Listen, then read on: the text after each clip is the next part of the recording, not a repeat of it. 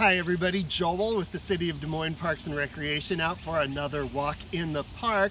Earlier this year I was here at this retention basin and we found the American toads. Listened to them sing and they were laying eggs. Now I'm back to see if I can find some of their tadpoles.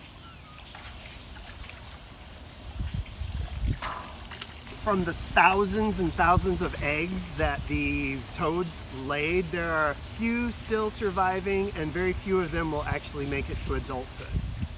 As the tadpoles mature, first their back legs are going to show up and then eventually their front legs will start to show up.